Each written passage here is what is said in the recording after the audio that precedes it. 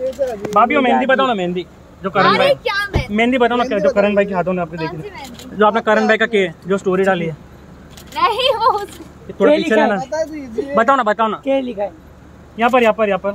थोड़ा क्लोज एक बार, एक बार, प्लीज़ प्लीज़ भाभी। प्लीज़ भाभी प्लीज़ लास्ट लास्ट बार लास्ट बार एक एक मिनट रुकिए। रुको रुको यहाँ पर देखो यहाँ पर। थोड़ा पीछे थोड़ा। भाभी भाभी। है ये थोड़ा पीछे आओ ना यार हैं हैं ये भाभी यहाँ पर देखो जाओ आ रहे हैं। इधर ही आ रहे हैं। पीछे आना दस मिनट पाँच मिनट भाभी यहाँ पर भाभी भाभी। भाभी जी। तेजा जी इधर देखो ना। भाभी लास्ट बार मेहंदी खाली थोड़ा क्लोज क्लोज नहीं। Last close close last last last नहीं दिखा के नहीं दिखा। के नहीं दिखा के बता दो के बता दो के बता के बता दो ना प्लीज़ एक बार दिखा दो। दिख गया?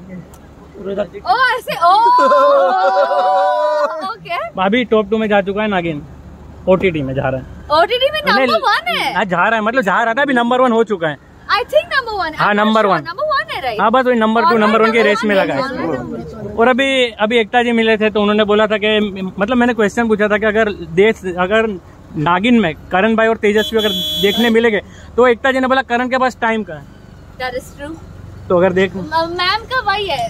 हम दोनों को अलग अलग जगह पे बिज़ी कर दिया और हम दोनों को बोल दिया अभी टाइम किसके पास है? तो I love it I like I like it गाड़ी में छोड़ के जा रहे बाय नहीं छोड़ के जाइए। मारना गाड़ी हमारे वापस आओगे ना?